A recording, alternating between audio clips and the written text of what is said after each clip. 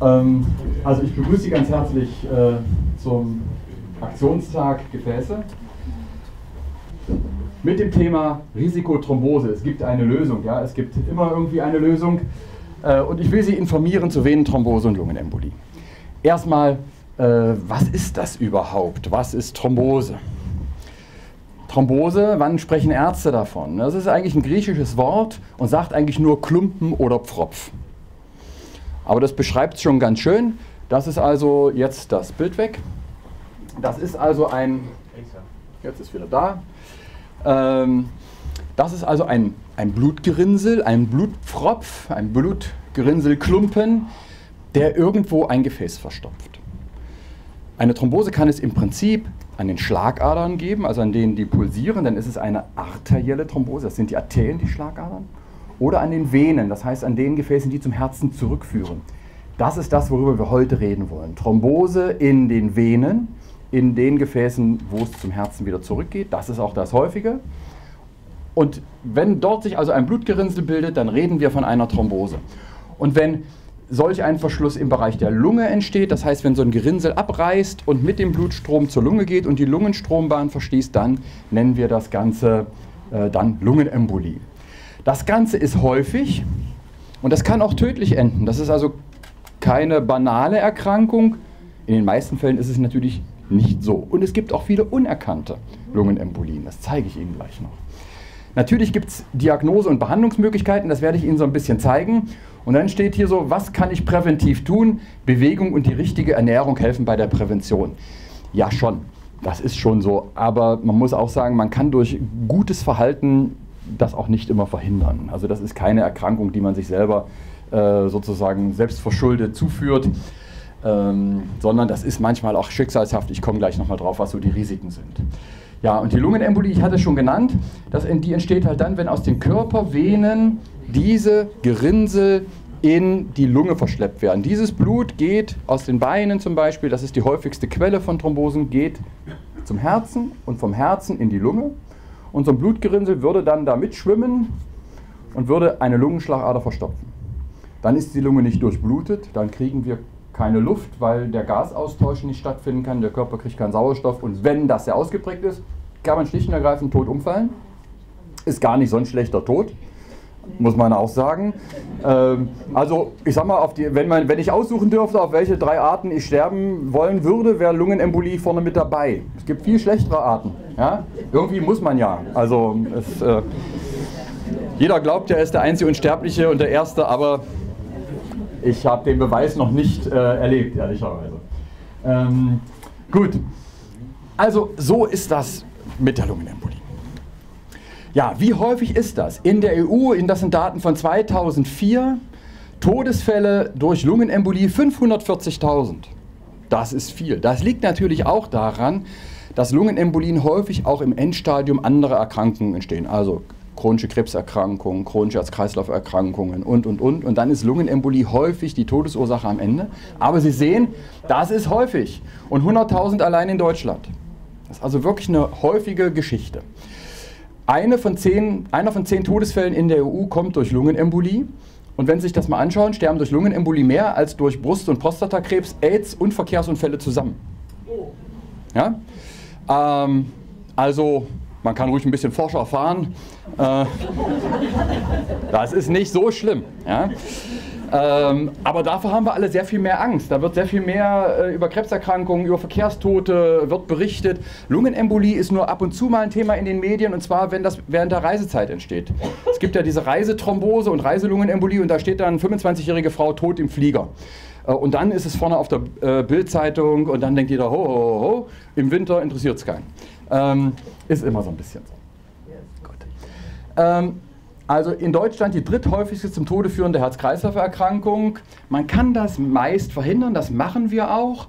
Das heißt, viele Situationen, wo früher Thrombosen und Lungenembolien auftraten, äh, sind heute entschärft. Trotzdem nimmt die Gesamtzahl nicht ab. Ich zeige Ihnen gleich, warum das so ist. Was könnten Symptome einer Thrombose sein erstmal? Schwellungen am Fußknöchel, am Unterschenkel oder am ganzen Bein. Das heißt, wenn das Bein anschwillt. Wenn das Blut nicht abfließen kann wegen eines Blutpfropfes, dann schwillt das Bein an. Schmerz in der Wade beim Auftreten, Überwärmung eines geschwollenen Beins oder auch Blauverfärbungen, wenn die Venen so rauskommen, die oberflächlichen Venen, wenn man die so sieht. Das kann also ein Hinweis sein, dass da eine Blutabflussstörung, sprich eine Thrombose in dem Bein ist. Und dann sollte man auf alle Fälle nachschauen. Und dieses Bild veranschaulicht so ein ganz bisschen, wie häufig das eigentlich ist und wie wenig eigentlich dieser Thrombosen Klinik machen, also Beschwerden machen. Die allermeisten Thrombosen treten auf und machen diese Beschwerden nicht. Das, das, tritt eigentlich nur dann auf, wenn ein großes Rohr verlegt ist, sozusagen. Wir haben am Bein aber auch kleine Seitenstraßen, Seitenvenen. Wenn da Thrombosen auftreten, das merken sie häufig gar nicht. Das ist wie beim Eisberg. Das meiste ist unter Wasser und nur ein Teil tritt offenbar in Erscheinung. Und das ist eben bei der Thrombose auch so. Viele Patienten sagen, es kann doch nicht sein, ich habe doch nichts gemerkt. Und sagen, gerade deswegen ist es eine Thrombose, weil man die meisten Thrombosen nicht merkt. Ja, nur ein Teil merkt man. Das heißt, wenn man, die machen nicht Schmerzen unbedingt. Ja, es gibt viele schmerzlose Thrombosen. Ähm, und das ist auch so ein bisschen das Tückische daran. Das heißt, es ist nicht so, dass sich sowas regelmäßig äußert, eben durch irgendeine, durch ein verlässliches Symptom. Häufig treten Lungenembolie und traten früher auf, zum Beispiel postoperativ. Das heißt, die Patienten sind operiert worden, liegen im Bett ähm, und dann zirkuliert das Blut nicht so richtig, die Beine werden nicht richtig durchbewegt und dann kann das leichter gerinnen. Heute gibt es wirklich äh, ganz stringente Hinweise, wann man das mit Medikamenten verhindern soll. Das wird auch grundsätzlich so gemacht. Das Problem ist aber auch, muss man auch sagen, dass sie mit diesen Medikamenten zur Thromboseverhinderung, zum Beispiel bei Operationen, nur ungefähr 90 Prozent aller Thrombosen verhindern. Das heißt, sie zehnteln die Häufigkeit. Um Ihnen mal ein Beispiel zu sagen, wenn Sie ein künstliches Kniegelenk kriegen und würden keine Thrombosespritzen kriegen, um die zu verhindern, die Thrombose, würde die Hälfte aller Leute eine Thrombose kriegen danach. Wenn Sie diese Spritzen geben, dann liegt die Wahrscheinlichkeit bei 3 bis 5 Prozent. Ähm, das ist schon, das ist toll. Heißt aber nicht, dass es nicht auftreten kann. Viele kommen nämlich auch und sagen, kann gar nicht sein, dass ich eine Thrombose habe. Ich habe ja Spritzen. Ich sage, das ist jetzt nicht, dann nicht so wahrscheinlich, aber es ist nicht unmöglich. Weil, wenn wir höhere Dosierungen dieser Blutverdünner gäben, um die Thrombosen zu 100% zu verhindern, riskieren Sie, dass irgendwer verblutet. Sie können ja die Blutgerinnung nicht ganz weghauen sozusagen. Irgendwofür ist die ja auch gut, gerade nach einer Operation. Ja, Sie können, da ist Blutgerinnung notwendig, damit Sie nach einer Gallenoperation nicht in den Bauch bluten. Sie brauchen also Restblutgerinnung. Und darum ist das, also gab es viele Studien, fein dosierte äh, Abstimmung, wie viel Dosis eines Blutverdünners kann, muss ich geben, damit ich die allermeisten Thrombosen verhindere, aber eben noch keine Blutungen riskiere. Heißt aber, es gibt auch Thrombosen, selbst wenn ich Blutverdünnungsspritzen gekriegt habe. Das ist so, auch wenn alles richtig lief, ist das weiterhin so. Aber diese Thromboseprophylaxe ist heutzutage Standard in ganz vielen Stellen und viele von Ihnen werden das vielleicht schon mal gehabt haben und werden über drei, fünf, sieben, zehn oder 35 Tage, je nachdem, was die, äh, der Anlass war, werden die Thrombosespritzen äh, bekommen haben. Und das ist die Rate von Thrombosen und Lungenembolien in Deutschland bei Männern und bei Frauen. Ja, Sie sehen, äh, Männer sind ein bisschen seltener dran. Da liegt aber auch daran, dass es einfach, wenn man älter wird, weniger Männer gibt. Ähm, ja, es ist so. Ja. Ähm, da gibt es viele Gründe für, ich möchte das jetzt gar nicht ausführen. Äh, und Sie sehen, über die Jahre, es werden nicht weniger. Obwohl wir so tolle Thromboseprophylaxe machen und die Thromboseprophylaxe ist zehnmal besser als in den 80ern. Warum ist das so? Ad 1, die Leute werden älter und Thrombose ist eine Erkrankung, die mit dem Alter zunimmt. Ad 2, wir machen mit Menschen immer mehr. Das heißt, heute werden Leute an Dingen operiert, die vor 20 Jahren nicht operiert wurden, schicksalshaft waren. Heute werden 80-Jährige an Dingen operiert, da hätte man vor 20 Jahren oder auch noch vor 10 Jahren sich an die Stirn getippt und gesagt, ihr habt doch wohl nicht alle die 80-jährige Dame jetzt mit dieser Operation zu quälen. Das ist alles Standard heutzutage. Das heißt, wir haben immer mehr Menschen, die per se ein hohes Thromboserisiko haben und machen mit denen immer mehr Prozeduren, die dann nochmal das Thromboserisiko erhöhen. Aus gutem Grund, weil wir wissen, wir tun was Gutes. Aber dadurch wird eben einfach die Absolutzahl von Thrombosen nicht geringer. Das ist einfach so. Man würde sich ja sonst vorstellen, dass das mit diesen Prophylaxemaßnahmen gegen Null verschwindet. Ich zeige das immer ganz gerne. Wir, regelmäßig werden Krankenhäuser verklagt, zum Beispiel, wenn einer eine Thrombose oder eine Lungenembolie im Krankenhaus kriegt, dann geht jeder zum Anwalt und sagt, ich habe da eine Lungenembolie gekriegt oder mein Vater oder ist gestorben, Krankenhaus hat die Fuscht. Ist ja, ist ja gerne sozusagen. Sie wissen, wir haben 80 Millionen Bundestrainer, 80 Millionen Bundeskanzler und Krankenhaus kennt sich auch jeder aus und weiß, es, er würde es besser machen. Ähm, und das ist eben nicht so. Sie können das nicht hundertprozentig verhindern. Sonst dürfen Sie keines Krankenhaus einweisen lassen, sozusagen. Ja, das ist einfach so. Was sind Risikofaktoren und was ist relevant? Wonach suche ich denn eigentlich aus? Wie funktioniert das? Wem gebe ich denn jetzt eine Prophylaxespritze? Ja, nein. Wenn Sie jetzt morgens zum Hausarzt rennen und sagen, ah, ich gucke mal abends vier Stunden Fernsehen, da bewege ich mich nicht, will ich eine Prophylaxespritze vorher haben.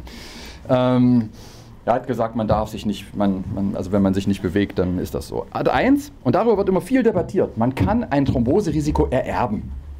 Das sind die sogenannten Thrombophilie-Faktoren. Haben ganz viele Leute Angst vor. Wird auch Geld mitverdient, ist auch viel Scharlatanerie dabei. Und da gibt es eine ganze Reihe von Gerinnungsdefekten, die heißen Faktor 5 Mutation, Faktor 2 Mutation, Protein C-Mangel, Antithrombinmangel, schlimme Worte sozusagen, ja. MTHFR-Mutation und so ganz. Ne? Also erbte Gerinnungseffekte. Die sind in der Bevölkerung gar nicht so selten. Das heißt, wenn Sie schauen, hatten ungefähr ein Drittel der Bevölkerung irgendeinen Defekt, der dazu führt, dass sie vielleicht ein bisschen mehr Thrombosen kriegen als ihr Nachbar.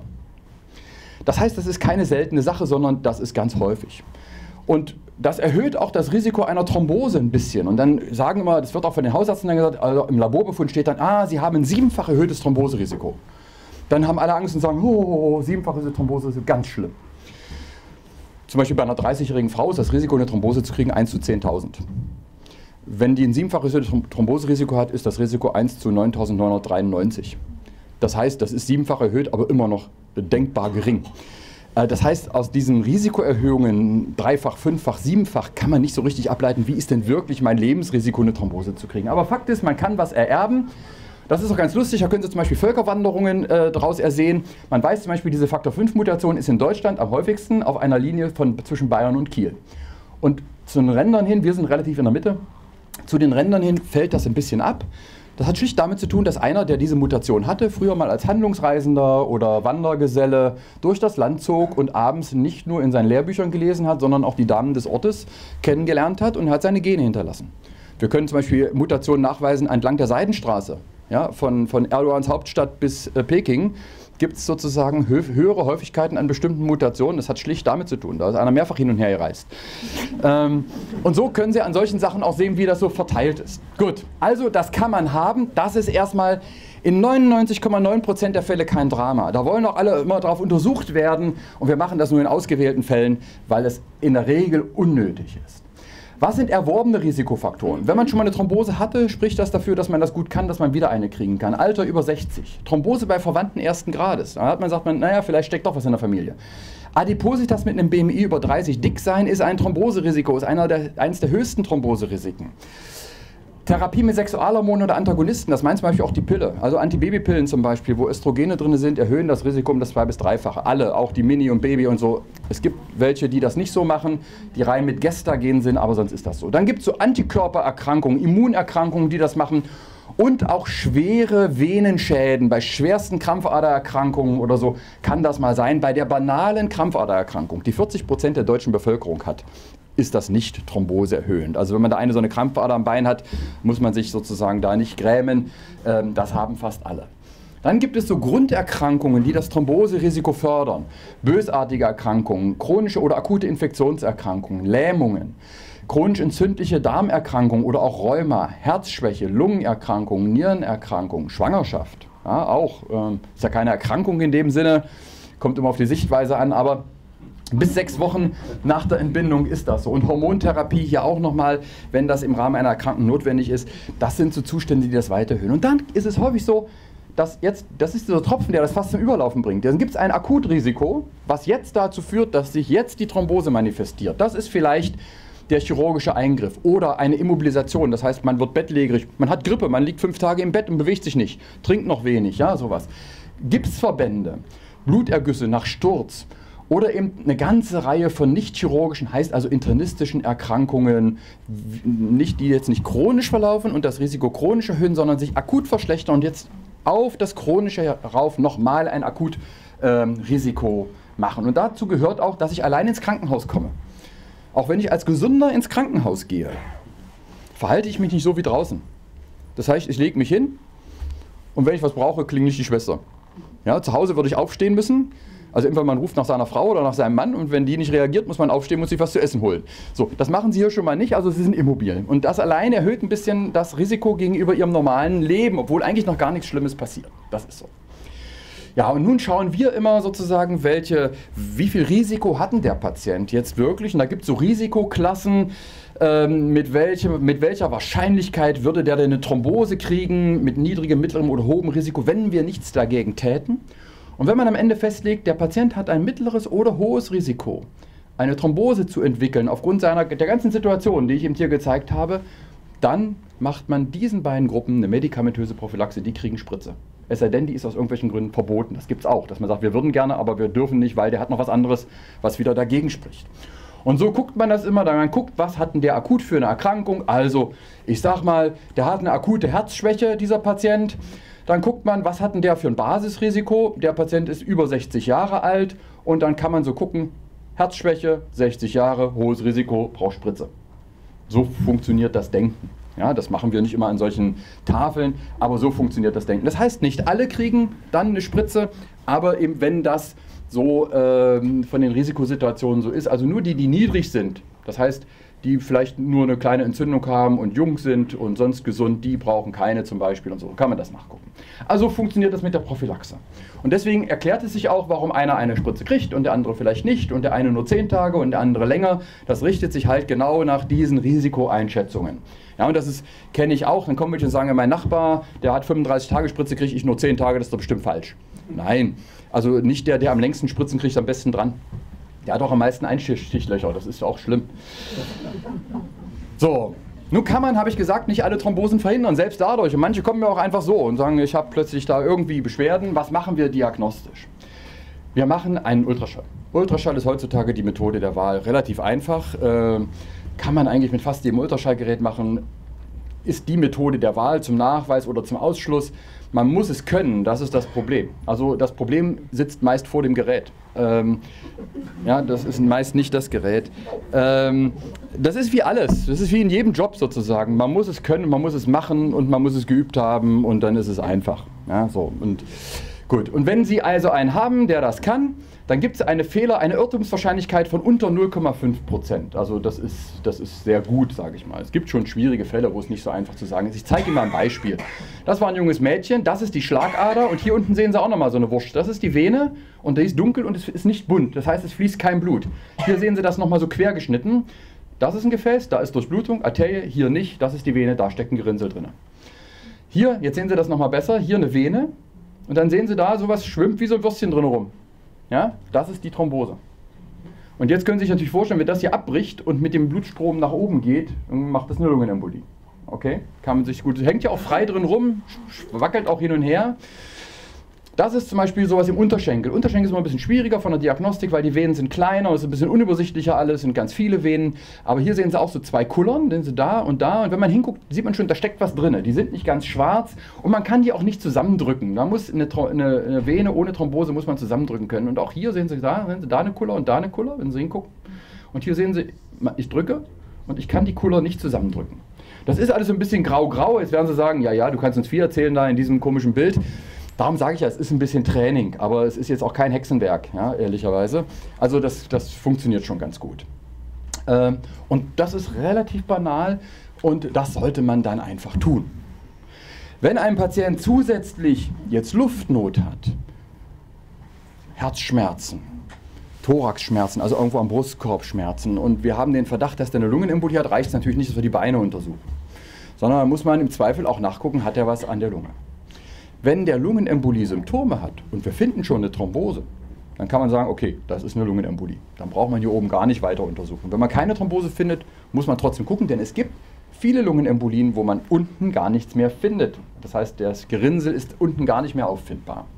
Und das ist gar nicht so einfach, um Ihnen auch mal so ein bisschen die Schwierigkeiten zu zeigen. Wenn einer kommt und es steht der Verdacht Lungenembolie, dann guckt man so nach Dingen wie Luftnot, Brustschmerz, Husten, äh, Fieber, Bluthusten, Ohnmacht, wie auch immer.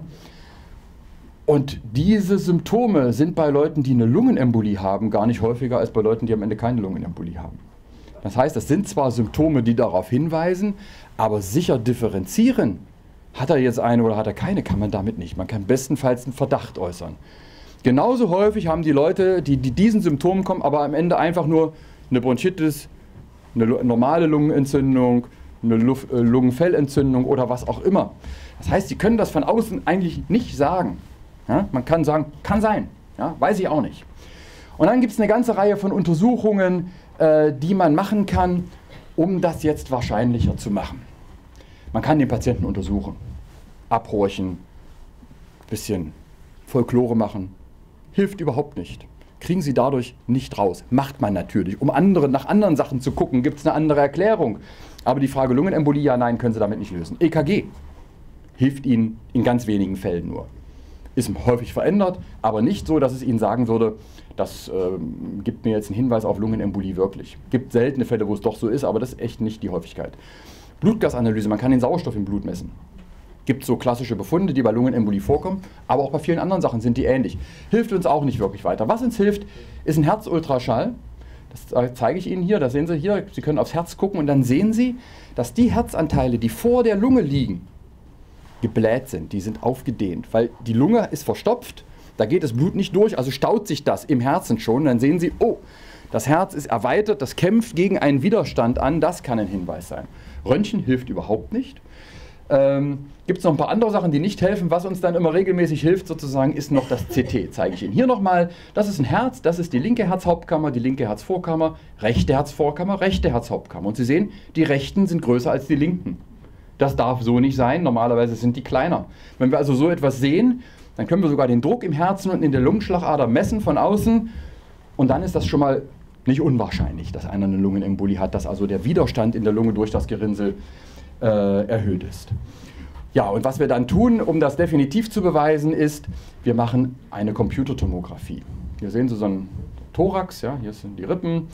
Und hier sehen Sie, das ist eine Lungenschlagader und die müsste eigentlich richtig weiß sein, wie diese Schlagader hier. Und dann sehen Sie, die ist nicht weiß, die ist nur am Rand weiß und in der Mitte ist sie dunkel. Und hier sehen Sie das auch, Lungenschlagader, die müsste weiß sein, durchgängig. Und wo, da, wo es dunkel ist, das ist Blutgerinnsel. Da kommt kein Kontrastmittel hin. Das Weiße ist Kontrastmittel, das verteilt sich. Und da, wo Gerinnsel ist, kann sich kein Kontrastmittel hin verteilen, das sehen Sie.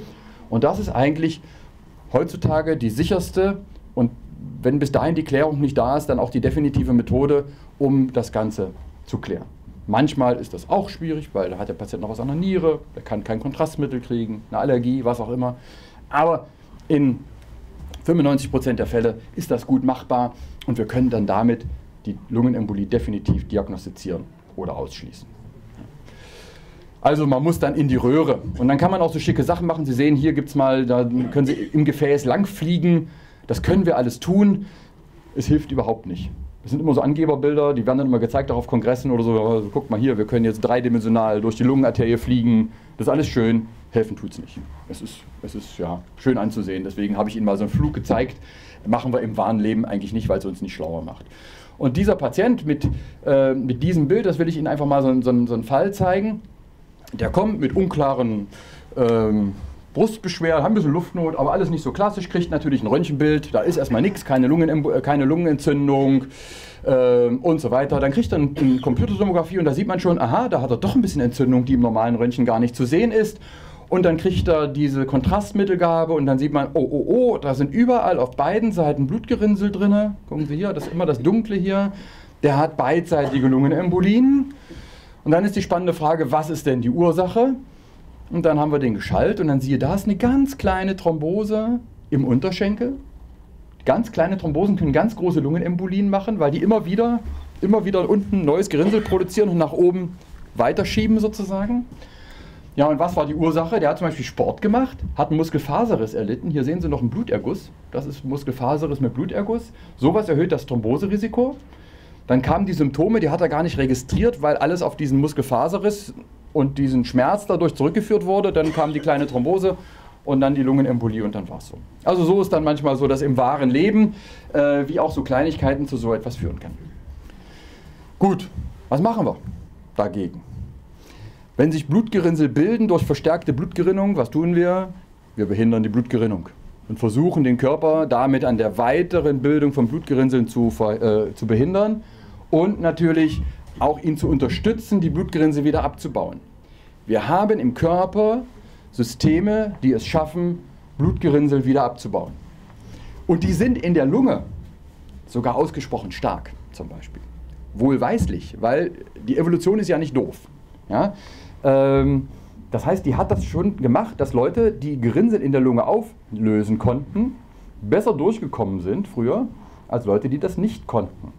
Ja, die das nicht konnten, haben, haben es einfach nicht geschafft, sozusagen in der Auslese.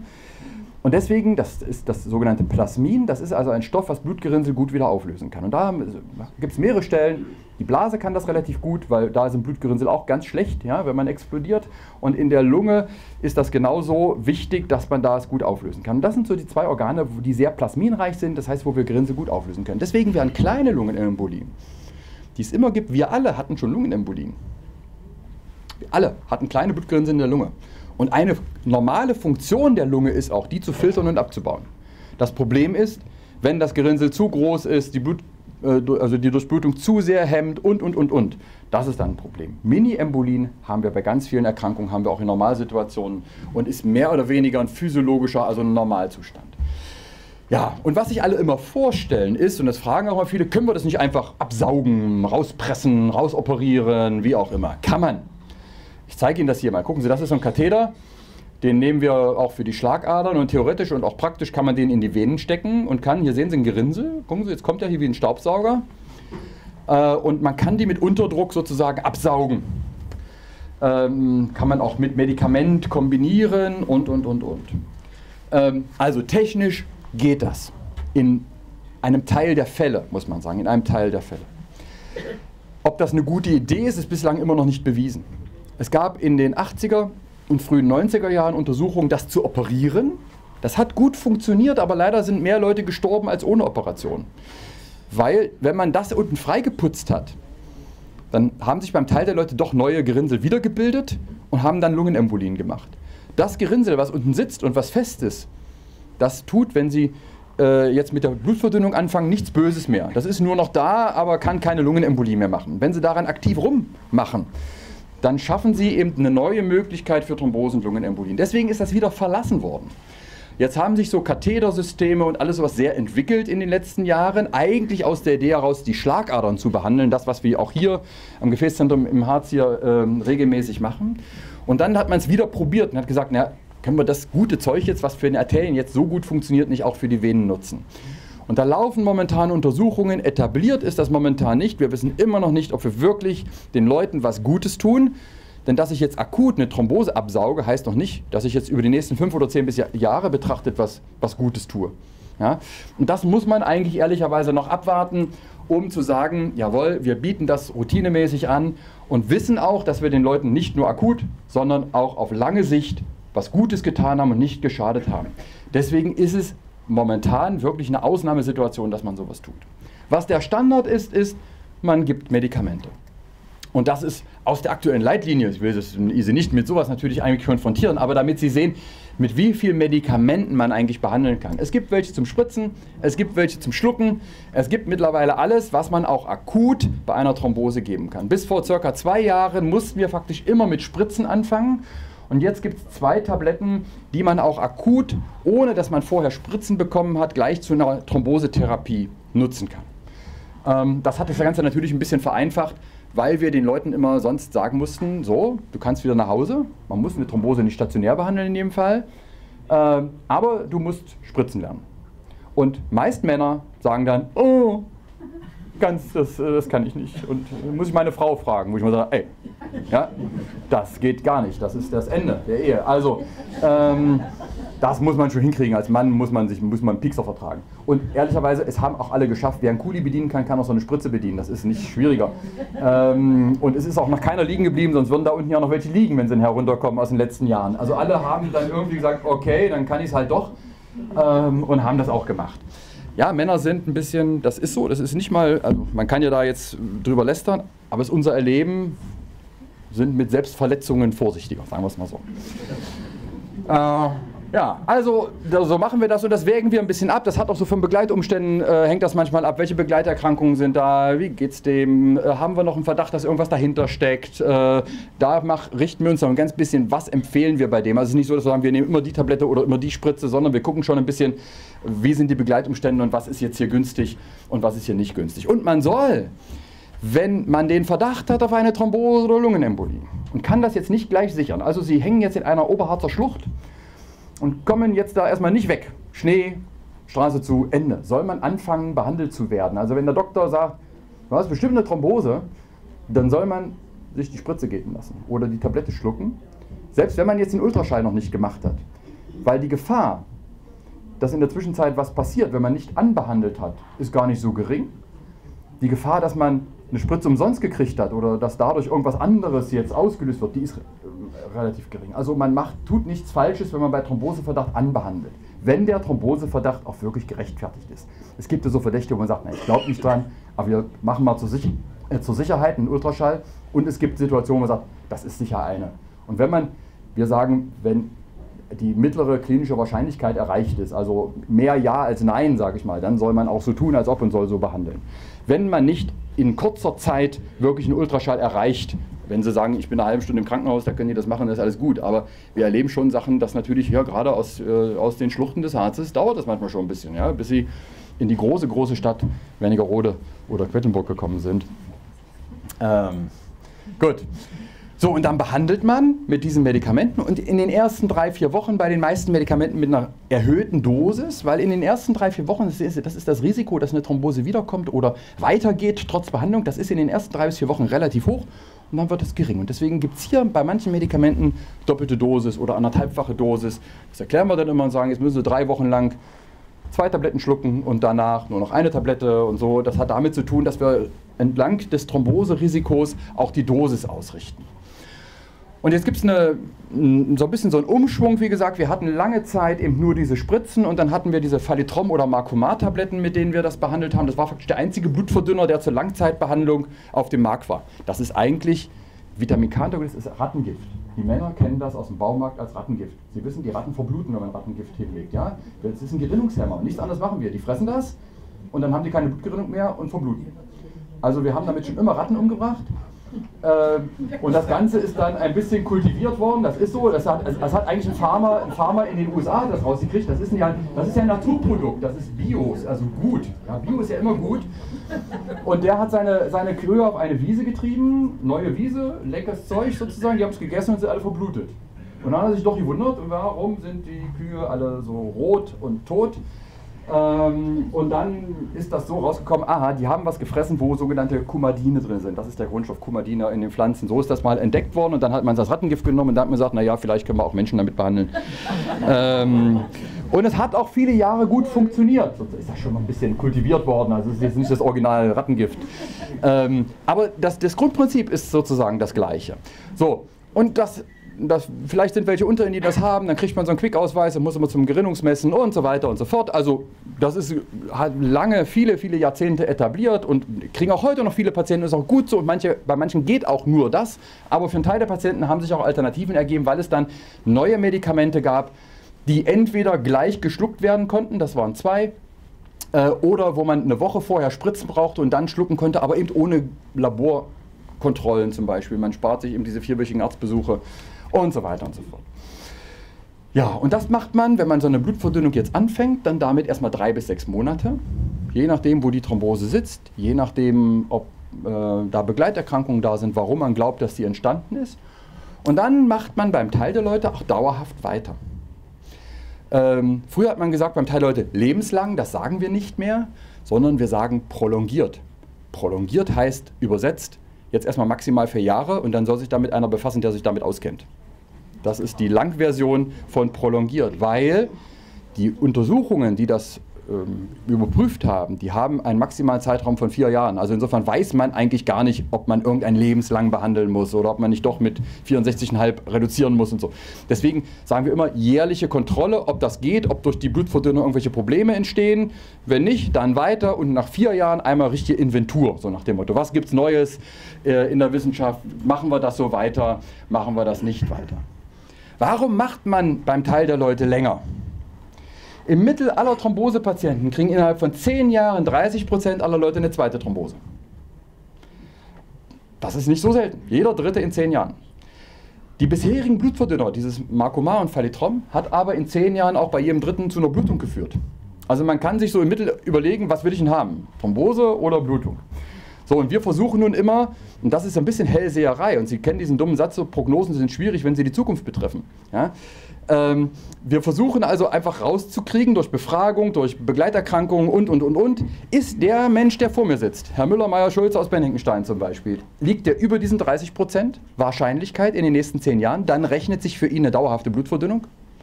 Oder liegt er nicht über diesen 30 Prozent mittleren, des mittleren Risikos, dann rechnet sich nicht. Das heißt, das ist ja das Mittel aller Patienten und wir versuchen das immer ein bisschen aufzudröseln. Und da gibt es schon Hinweise sozusagen. Und das sind die Hinweise. Und ich sage Ihnen jetzt einfach mal, was spricht denn, wenn man mal eine Thrombose hatte, dafür, dass man gefährdeter ist für eine zweite Thrombose als andere? Also erstmal, wenn es einen Risikofaktor gibt, der fortbesteht. Wenn ich eine Erkrankung habe, die zu dieser Thrombose geführt hat und die Erkrankung ist weiter da, naja, dann wird die es auch das zweite Mal schaffen unklare Ursache, wenn die aus heiterem Himmel kam, die Thrombose, dann ist das viel schlechter, als wenn die nach einer Operation kam. Da wissen wir, Thrombose kann Herr Müller nur, wenn der Arzt vorher operiert. Gut, das ist ja selten, also brauchen wir den nicht dauerhaft Blut verdünnen. Wenn das eine zweite Thrombose war, dann ist die Wahrscheinlichkeit, dass er das gut kann und dass er auch eine dritte und vierte schafft, natürlich erhöht. Wenn das Blutungsrisiko gering war unter dem Blutverdünner, nichts aufgetreten ist, dann ist das äh, auch ein Zeichen, dass man mit leichtem Herzen weitermachen kann. Wenn das mit der Blutverdünnung gut lief, dann gibt es so Laborwerte, die vielleicht dafür sprechen, dass das Risiko erhöht ist. Wenn wir im Ultraschall am Ende der Blutverdünnungsphase noch deutliche Resttrompen sehen, also Restgerinnsel, spricht das auch dafür. Und Männer, wir müssen stark sein. Das Mannsein ist ein großer Risikofaktor. 2,3-fach höheres Risiko für eine zweite Thrombose als Frauen. Ja, das ist so. Die haben andere Dinge, mit denen sie leben müssen. Aber wir müssen mit einem erhöhten Rethrombose-Risiko leben. Und das ist kein Spaß. Ich hatte das schon. Ehepaar, beide Thrombose. Sie wissen, beide haben irgendwann dieselben Windjacken, aber die hatten beide auch die gleiche Thrombose. Ähm, und beide kamen mit der Frage, kann ich die Blutverdünner absetzen? Und ich habe es bei ihr abgesetzt und bei ihm nicht, weil er Mann ist. Er geht raus und sie ihn angeschnauzt sozusagen, warum musst du weiternehmen? Ich kann aufhören, du hast nicht richtig gefragt. Ähm, zack. Na, ich habe es dann mitgekriegt oder kriegte es gesteckt. Da draußen endet gerade die langjährige Beziehung. Äh, bin ich nochmal raus und habe gesagt, er hat richtig verstanden, alles ist gut. Er Mann, sie Frau. Auch wenn sie das anders sehen, aber er muss jetzt weiternehmen. Ja? Gut. Wenn die Thrombose ausgedehnt war beim ersten Mal, spricht das auch für ein höheres Risiko. Wenn sie proximal war, also Unterschenkelthrombosen zum Beispiel machen seltener Rezidive, also zweite Thrombosen, als weiter oben gelegene Thrombosen. Das heißt, beim Unterschenkel hört man meist auf nach drei Monaten, beim Oberschenkel zum Beispiel nicht, weil man weiß, das Risiko ist einfach äh, anderthalb bis zweimal so hoch, dass das zu einer zweiten Thrombose führt. Wenn es schwere Gerinnungsdefekte gibt und am Ende muss man auch immer sagen, spielt natürlich die Meinung des Patienten eine Rolle. Ich bespreche das immer, weil solchen gibt es gibt eindeutige Situationen, es gibt auch schwierige. Ich rechne das immer vor und sage, pass auf, das Risiko unter dem Blutverdünner eine Blutung zu kriegen bei Ihnen ist jetzt meinetwegen 2,8 Prozent statistisch. Das Risiko, dass Sie eine Thrombose kriegen, wenn wir aufhören, liegt bei 4,8 Prozent pro Jahr. Was wollen Sie? Weil, dass ich der Meinung bin, dass das klug ist, die Tabletten zu schlucken, heißt ja noch lange nicht, dass der Patient sagt, das ist gut so. Es gibt Leute, die sagen, jawohl, ich weiß, dass ich ohne Tabletten ein höheres Thromboserisiko habe, als ich mit Tabletten Blutungen kriegen würde, aber scheißegal, ich will das nicht. Ja? Ich fühle mich dann krank, ich will nicht, ich, was auch immer. Man darf ja unvernünftig sein und hoffentlich ist auch jeder mal unvernünftig im Leben. Das, wenn man nur vernünftig wäre, wäre ja auch fürchterlich. Also jeder hat das Recht natürlich zu sagen, ich möchte diese Therapie nicht, lieber Doktor, auch wenn du meinst, dass das eine ganz tolle Sache ist für mich. Dann macht man es nicht. Schreibe ich rein, Patient ist informiert, will aber so, viel Glück. Und es gibt Situationen, da ist es pari-pari, das gibt es auch, wo man sagt, du hast ein bisschen erhöhtes Blutungsrisiko, aber auch ein erhöhtes Thromboserisiko. Beides ist jetzt bei 4% pro Jahr, wir müssen einfach drüber reden. Was ist für dich das, womit du besser klarkommst? Viele fühlen sich ohne Blutverdünner dann ungeschützt sozusagen, sagen, oh, wenn ich den nicht mehr nehme, ich, ich wäre irre, ich spüre ständig Thrombosen überall. Äh, und dann sagt man eben, okay, das, äh, statistisch wissen wir gar nicht, ob wir was Gutes tun, aber wir tun auch nichts Falsches. Und wenn du damit besser leben kannst, wenn dein Leben besser zu führen ist, dein Gefühl besser ist, dann machen wir es so. Ja, du musst mit klarkommen, mit, mit den negativen Folgen bei beiden Entscheidungen. Äh, also das ist ganz wichtig und deswegen steht, und das steht auch in den Leitlinien drin, Patientenpräferenz ist eine ganz wichtige Sache. Wir können sowieso nicht, wir sind ja nicht die Polizei. Ja, äh, die kann ja auch nichts mehr durchsetzen, aber ähm, wir schon erst recht nicht. Ja, wir hätten nicht mal per se das Recht dazu. Ja, und hier sehen Sie das, dass sich also faktisch äh, so, wie sich so ähm, empfohlene Dauern unterscheiden. Bei einer Unterschenkelthrombose drei Monate, wenn es Oberschenkel ist, erstmal drei bis sechs. Wenn wir nicht wissen, warum die Thrombose entstanden ist, eher länger. Wenn die Thrombose nach einer Operation entstanden ist, würden wir nach sechs Monaten immer aufhören. Ja, da gibt es den klaren Faktor Operation. Wenn wir nicht wissen, wo es herkam und woher der, wo die Heckenschützen sitzen, dann macht man weiter, weil man weiß, der hat vielleicht einfach eine versteckte Neigung, die man gar nicht erfassen kann. Und nun würde ich Ihnen so ein bisschen zeigen, wie ist das im wahren Leben, äh, auch mit diesen neuen Medikamenten, damit Sie mal so ein bisschen so ein, auch von dem Neuen so, ein, so einen Eindruck haben. Also man hat diese neuen Medikamente erfunden und wir nehmen die auch und wir nehmen die gerne. Wir nehmen die nicht nur, wir nehmen auch das alte, etablierte. Also immer passend für den Patienten. Und man hat jetzt einfach in diesen Ländern geschaut, äh, Sie sehen, da ist Großbritannien noch mit dabei beim Rest von Europa. Ähm, wie funktioniert denn das im wahren Leben? Nicht in Studien so, ja, sondern man hat einfach geschaut, wie ist mit der Wirksamkeit. Das ist, das ist nur ein Beispiel, das hat man mit allen Substanzen gemacht. Das ist die Wahrscheinlichkeit, unter den neuen Substanzen eine Verschlechterung oder eine zweite Thrombose zu kriegen. Das ist die Wahrscheinlichkeit unter den alten Substanzen. Das heißt, die neuen verhindern ein bisschen besser zweite Thrombose. Und Sie sehen, das hier, das macht auch weniger Blutungen. Das ist zum Beispiel das Rivaroxaban, das ist Xarelto. Das gibt es aber für die anderen ganz genauso. Ähm, warum ich das zeige? Ähm, diese Substanzen waren zum Beispiel dann bei Aspekte oder irgendwelchen äh, ARD-Sendungen, wie die da heißen, die bösen Blutverdünner, Blutungen unter Blutverdünnern. Ja, das gibt es. Also wer glaubt, dass ich unter einer Gabe von Blutverdünnern keine Blutungen riskiere, der ist so naiv, dass er sofort entfernt werden muss aus jedem System. Das passiert natürlich. Wenn ich Blutgerinnung behindere, wird es stärker bei dem Patienten bluten, wenn er sich verletzt oder wenn irgendetwas anderes passiert als sonst. Die machen keine Blutung, aber wir alle haben innerlich und äußerlich immer mal wieder undichte Stellen und aus dieser undichten Stelle blutet es dann halt auch mal häufiger raus, weil der Körper nicht mehr so eine starke Gerinnungskraft hat. Das gibt es bei jedem Blutverdünner. Und ja, es sind auch unter den neuen Blutverdünnern Todesfälle aufgetreten. Ganz klar, das gibt es. Das Problem ist, wenn man sie nicht gegeben hätte, hätten die Leute mit höherer Wahrscheinlichkeit vielleicht eine tödliche Lungenembolie bekommen.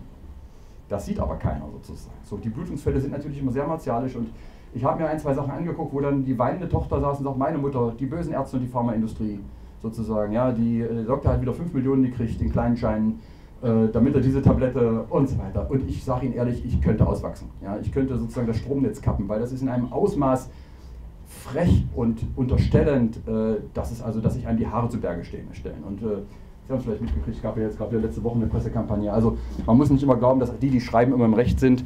Die sind manchmal auch dümmer, als sie es den anderen vorwerfen. Na gut.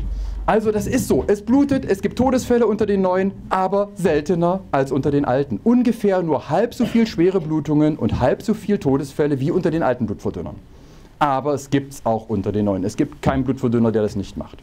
Sonst würde er nicht wirken. Das ist so ein Problem. 30 Prozent aller Leute zum Beispiel hat unerkannt eine Magenschleimhautläsion, ein Magengeschwür zum Beispiel. Also wenn wir jetzt so durchmachen würden, ich kann, weiß gar nicht, wo das Drittel ist jetzt, hier stehen so viele, aber hier so, hier die hätten jetzt eins. Äh, und das haben wir immer mal wieder. Und die, die heute keins haben, haben vielleicht in vier Wochen eins. Die ärgern sich über ihre Schwiegertochter, ja, zack, bumm, schon Magenschleimhaut. Äh, oder die Schwiegertochter sich über die Schwiegermutter und dann haben es beide. Also, so ist das. Und dann gibt es eine undichte Stelle und dann kann es mal bluten. Das ist einfach so. Ähm, gut, also das muss man zur Kenntnis nehmen und wenn man so etwas sieht, das ist ja immer alles reißerisch aufgemacht, muss man immer schauen, was steckt denn eigentlich dahinter sozusagen. Ja, das gibt es, aber was wäre die Alternative bei dem Patienten gewesen? Und hier sehen Sie Todesfälle. Todesfälle unter dieser neuen Substanz und Todesfälle unter der alten Substanz. Und Sie sehen sechsmal mehr Todesfälle unter dieser alten Substanz.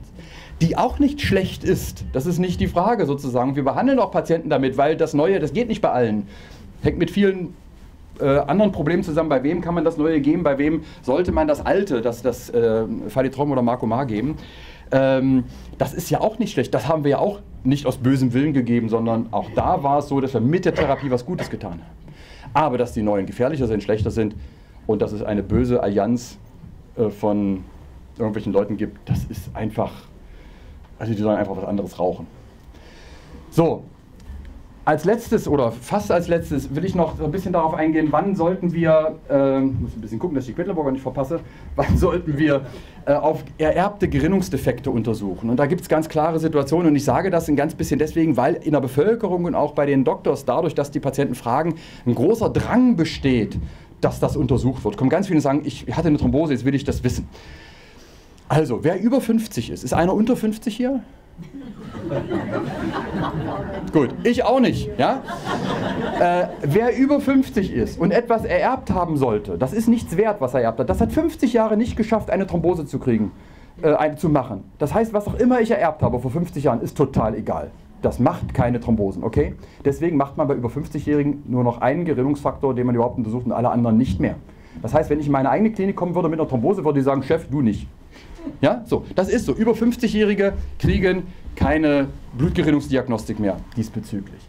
Ähm, und das, und ich, ich, will Sie nicht verwirren hier, aber es ist so, die erhöhen, diese Gerinnungsdefekte erhöhen so ein bisschen das Risiko, die erste Thrombose zu kriegen, aber lustigerweise gar nicht das Risiko, die zweite oder dritte Thrombose zu kriegen. Heißt, wenn ich eine Thrombose habe, brauche ich eigentlich nicht mehr untersuchen, weil jetzt ist auch egal. Das Risiko für die zweite Thrombose ist bei allen gleich. So, so ein bisschen. Ähm, also da passiert viel Unsinn und ich bin auch immer dabei, dann Leuten zu erklären, warum wir das jetzt nicht machen. Das ist immer eine ganz schwere Sache. Die kommen hierher und jetzt bei im Gefäßzentrum, Entschuldigung, kriegen sie jetzt Gerinnungsdiagnostik. Und sage ich, nö. Also äh, nur gegen meinen erklärten Willen, weil ähm, sie sind eigentlich, sie sind 68, 68 Jahre keine Thrombose gekriegt. Jetzt wollen wir es nicht mehr wissen. Äh, es ist nichts wert. Das hat nichts damit zu tun, es lohnt sich nicht mehr. Es geht einfach um die Wertigkeit dieser Defekte. Um nochmal mit Männern und Frauen. Frauen mit einem ererbten Gerinnungsdefekt kriegen nur halb so häufig eine zweite Thrombose wie ein Mann ohne Gerinnungsdefekt. Also Mann sein ist doppelt so gefährlich wie Frau, zum Beispiel mit einer Faktor 5 Mutation, das ist diese häufigste Gerinnungssituation. Nur um da, das, das ist, also die machen schon ein bisschen was, aber das ist verschwindend gering gegenüber anderen äh, Risikofaktoren. Es gibt also nur noch so ganz klare Definitionen, wann man das machen soll. Und falls Sie mal zu uns geschickt werden zu dieser Frage und ich erkläre Ihnen, warum das Schwachsinn ist, dann seien Sie nicht traurig, das hat nichts mit Ihnen zu tun, sondern ich würde mir das auch nicht mehr machen. Ja, das ist wirklich so. Das heißt, Woran man aber denken muss bei über 50-Jährigen, und das sind wir ja irgendwie alle, außer Herr Fiedler, das ist übrigens Stefan Fiedler, der ihn gleich sozusagen dann ein bisschen äh, bei den Kathetern assistiert, von dem weiß ich, er ist es noch nicht. Der hätte also noch Gerinnungsdiagnostik bei uns gerade so bekommen. Ähm, aber bei den über 50-Jährigen guckt man, haben die irgendeine Grunderkrankung? Weil wir wissen, wenn einer eine Thrombose kriegt ohne erkennbare Ursache, kriegt er in 3 bis 15 Prozent in den nächsten zwei Jahren eine Krebserkrankung. Das heißt, eine Thrombose kann manchmal schon das erste Anzeichen einer versteckten Krebserkrankung sein. Deswegen gucken wir so Leuten tief in die Augen und sagen manchmal, es wäre gut, wenn Sie ein paar Tage hier bleiben, wir müssen Sie mal durchnudeln. Ja, so. Also einmal von Socke bis Locke durchuntersuchen, um zu gucken. Was man wenigstens dann machen sollte, ist die Vorsorgeuntersuchungen zu machen. Dann frage ich die Frauen, wann waren Sie das letzte Mal beim Gynäkologen? Dann sage ich, äh, wie alt ist meine Tochter? Sie. Äh, so, der Klassiker. Ja? Männer beim Urologen, alle kennen das. Ja? Äh, so. Und das sollte man dann schon mal machen, auf alle Fälle. Und ob darüber hinaus was notwendig ist, da kann man gucken, da macht man dann ein bisschen Labor. Aber das ist wichtig, die Vorsorgeuntersuchungen sollten gemacht werden. Und wer über 55 ist und sowieso eine Vorsorge-Magenspiegelung und Darmspiegelung, äh, also Darmspiegelung äh, bekommen kann, gesetzlichen Kassen bezahlen eine Darmkrebsvorsorge, Darmspiegelung ab dem 55. Lebensjahr, der sollte das machen. Auch das ist nicht vergnügungssteuerpflichtig, das weiß ich. Aber ähm, man sollte es tun. So, und was tut man noch? Frage ist immer, darf ich rumlaufen? Ja, Sie sollen rumlaufen. Rumlaufen ist Therapie. Wenn Sie rumlaufen, wächst die Thrombose nicht. Wenn Sie sich hinlegen, wächst sie in einem Viertel der Fälle, trotz Blutverdünnung. Also mo äh, mobil sein ist gut. Wir wickeln das Bein in der Regel am Anfang, damit es schlank wird, damit erstmal die gestaute Flüssigkeit rausgeht. Und später gibt es einen Strumpf. Und der Strumpf, der ist erstmal so hoch, wie die Thrombose war in der Regel. Und später muss man gucken, bei der Ultraschalluntersuchung, braucht es diesen Strumpf auf Dauer? Ja, nein. Das richtet sich danach, ob die Venen klappen, also die Rückschlagventile in den Venen kaputt gegangen sind oder nicht. Und dann gehen Sie ins Sanitätshaus, und das Sanitätshaus, wenn es gut ist, berät sie, wie sie so Strümpfe anziehen, damit sie Gummihandschuhe anziehen. Und es gibt so Anziehhilfen. Gucken Sie, so eine Flüstertüten, damit man geschmeidig in den Gummistrumpf rutscht. Oder solche, das zieht man so nach vorne. Oder es gibt so Gestelle für Leute, die sich nicht bücken können. Jeder kommt in den Strumpf. Ja? Ich höre das immer, Herr Doktor, es geht nicht. Und ist, jeder kommt in den Strumpf. Ja? Es ist so. Ähm, Ja, und wie gesagt, über die Dauer kann man am Anfang gar nichts sagen. Das machen wir dann, das machen wir dann im Verlauf im Ultraschall. Und wenn man das nicht vernünftig macht und das Bein chronisch gestaut ist, dann kommt es zu sowas, Weißverfärbung, da ist die Haut schon ein bisschen kaputt, hier ist Braunverfärbung, das ist Rost, Rost aus den roten Blutkörperchen, Siderose. Dann hat man irgendwann offenes Bein und dann sieht es so aus. Ich mache schnell weg, weil sie wollen noch das gesunde Buffet draußen essen. äh, aber so würde es ausgehen, wenn sie den Strumpf nur anziehen, wenn sie zum Doktor gehen. Ich sehe immer Leute mit Sonnenbeinen und da weiß ich, die haben den nicht an und dann sage ich, und der Strumpf? Ja, äh, sonst immer. Also, äh, ja, haben Sie einen Strumpf? Ja, ich sage, das, ja, tragen Sie den Strumpf? Naja, ja. also das ist so. Und um sich über das Risiko noch zu informieren, können Sie, und das liegt überall aus, oben und unten gibt es noch so ein paar Dinge, die Sie äh, einsacken können hier. Und ähm, da sind auch nochmal Informationen über diese Medikamente und über Thromboserisiko und so weiter. Oder für die, die so jetzt äh, PC-affin sind, es gibt auch eine Seite www.risikothrombose.de von der Fachgesellschaft der Angiologen. Da können Sie das alles nochmal nachlesen und können sich ähm, auch nochmal irgendeinen Abend frei von guter Stimmung halten, indem sie sich nochmal mit Krankheit beschäftigen. Oder sie besuchen uns vor Ort. Wir haben ja auch zwei Websites, wo so ein paar Sachen dazu stehen. Gut, so viel dazu. Ich danke erstmal für Ihre Aufmerksamkeit. Ja, ja, ja, ja.